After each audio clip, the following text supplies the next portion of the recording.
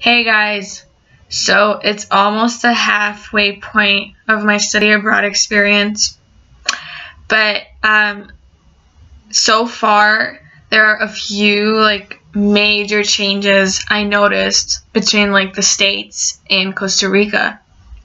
Um, so as I mentioned previously, they don't like make dinner the big thing. For them, it's lunch, and like during lunch, like, you probably have like three different plates on the table and like the whole family comes and it's every day. Like family that doesn't even live in this house.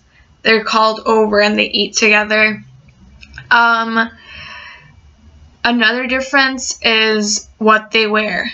It's a tropical climate here and the weather is never lower than like 70 recently it's been in like the 70 high 70s but it honestly feels like 90 but you never ever see a local wearing shorts ever. Like the first day i walked to class i wore a romper and it was normal like a normal romper you would wear in the summer. And when i walked in there like all the us students were like wearing shorts and stuff but all the locals had like buttoned up white shirts and long black pants. I was like, wow, I really didn't pack right for this trip. But I asked my mama Tica about it, and she was like, no, it's like they just prefer long pants, I guess. And I'm like, okay.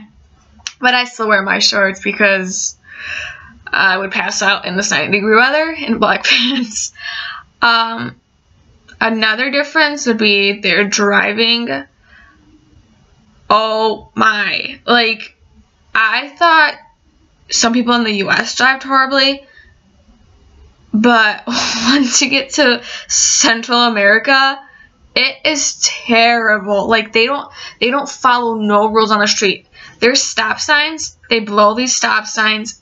They pass over police.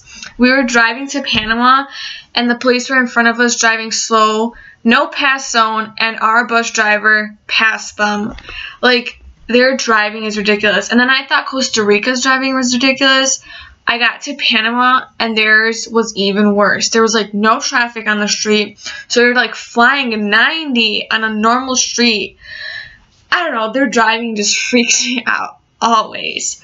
Um another difference would be like um eating wise again, um most of their well not even most all of their stuff is so fresh. Like the fruits the juice everything. And that's probably one of the mo- most important things i'll miss.